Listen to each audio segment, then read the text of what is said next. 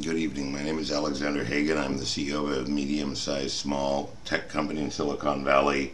Previously, I was a financial analyst and financial journalist. Today, I want to speak to you about education in a sort of investigative journalism series that I've been doing. Uh, this is about looking at U.S. education, comparing it to other countries, and seeing how we're doing. And I've entitled this piece, It's Not Very Good U.S. Education it's not very good, but it is expensive. So um, let's start with some non-threatening information and uh, non-bad news, uh, just some simple facts. This is a deployment of people into our K-12 uh, system, and I believe this is all public. I did merge in private later, and what you're seeing is that with teachers are almost exactly half of all the people work for schools. And then there's this slice here for teachers aides. So when you add that 62% of all people are teachers or teachers aides. Okay. Um, now here is expenditures.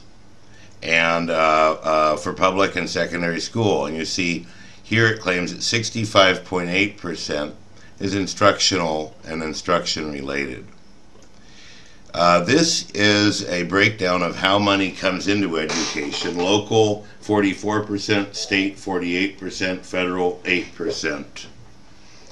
Um, let's see here now.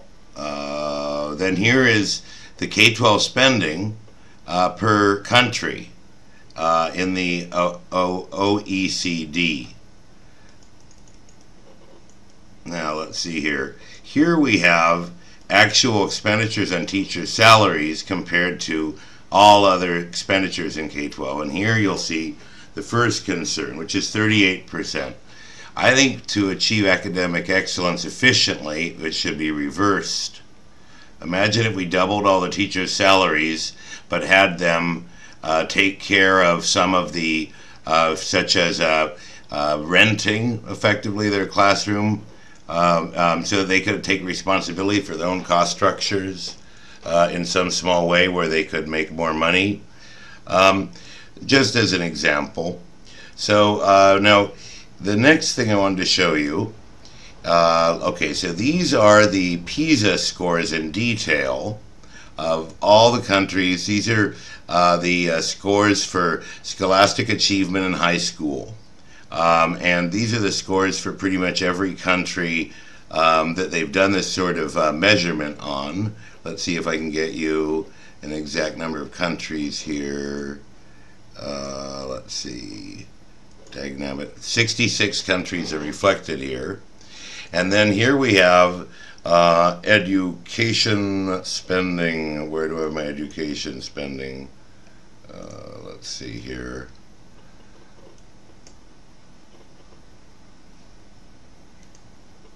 Here we go.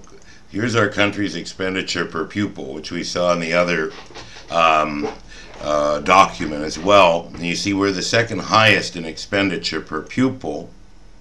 Um, and uh, then when we look at our results, which is a PISA test, what I did, well, I'll just show you. Uh, let's see here. I believe that this query, education return investment, so here we have a total of uh, overall reading, math, and science per country, sorted from the highest score down. So now let's move these together a bit. Okay.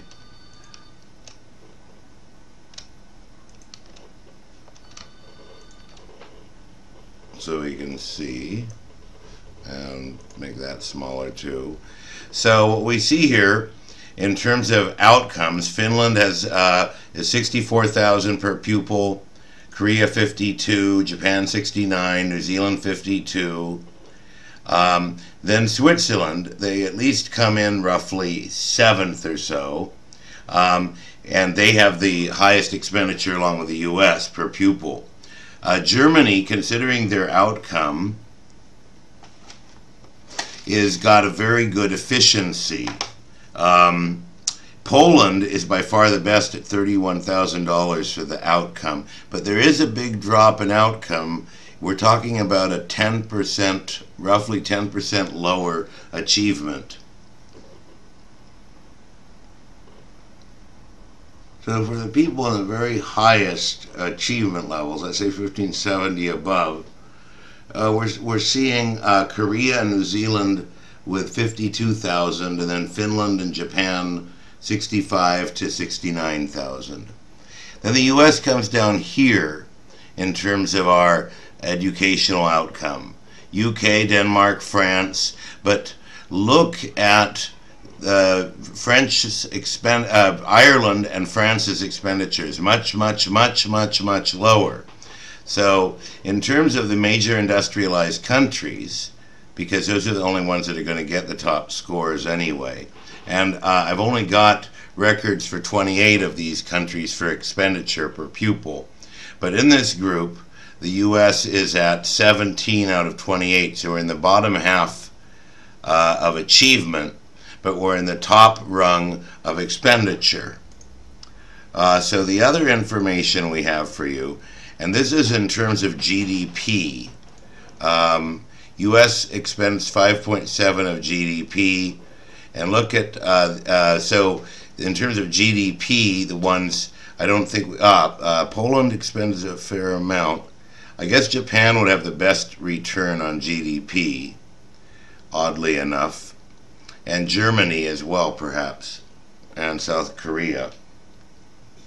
So um, let's see here now. So here was um, some other things I looked at. So when you look at this um, total expenditures on K-12, 201 billion for instructors' salaries. That is uh, 10% as much as the war, the military and correctional uh, and uh, anti-terror uh, systems.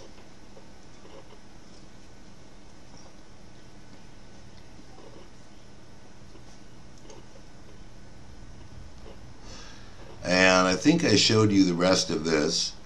Uh, let's see if there's anything else that you need to see. Um, let me just briefly flip through this. Well, I think that's as far as I've gotten so far. Um, the main point is that, first of all, we're paying a lot more than other people to get the same product. And why is that? Um, and the, probably the one to study the most scrutiny is France. France has a much more heterogeneous population now than it used to because of emigration. So why are their scores? We go back to here and look.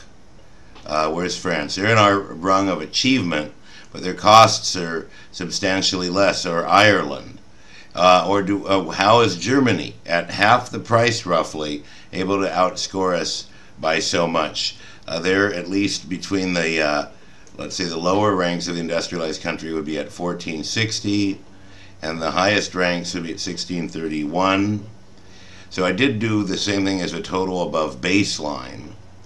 And um, so Pol uh, so this is a ratio of bang per buck here in particular. And here the US is at the very bottom in terms of bang per buck so uh, then also I consider a problem that only 38% of educational expenditures are spent directly on the teacher right here. And then of course I'm very concerned about in terms of our national priorities if we look here. When I say concern I mean as an analyst. I'm trying not to uh, inject my opinion particularly. So uh, let's see if I have um, what I'm hoping. Yes, here we go. So uh, let's see.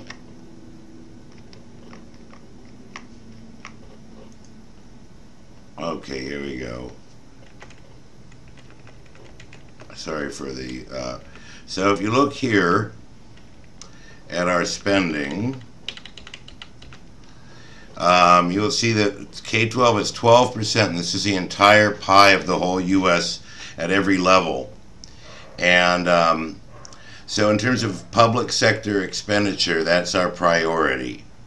Um, but the question is still one begs to ask is why is our cost structure 50% higher? That's as far as I've gotten. Thank you, good night, and good luck.